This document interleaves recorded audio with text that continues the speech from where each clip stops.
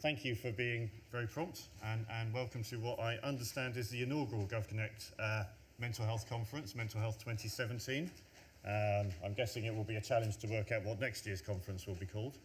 Um, I'm Andy Bell. I work at charity called Centre for Mental Health. If you've heard of us, that's great. If you haven't, come and have a look at us at the uh, exhibition stand around the corner later. And um, my role today is, is a very simple one, which is to keep us to time uh, and, and make sure that uh, this conference is as good and lively and interesting as possible for everybody.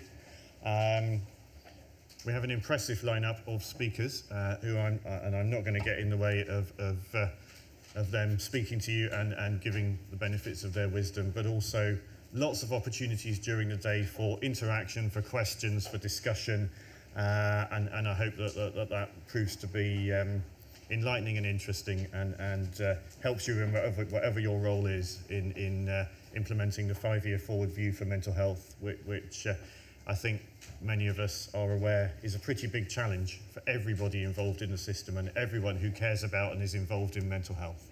Uh, so hopefully today we'll give some, some insights, some clues, lots of different aspects of it, lots of different areas of mental health care we're covering. Um, so, so have a great day, enjoy it.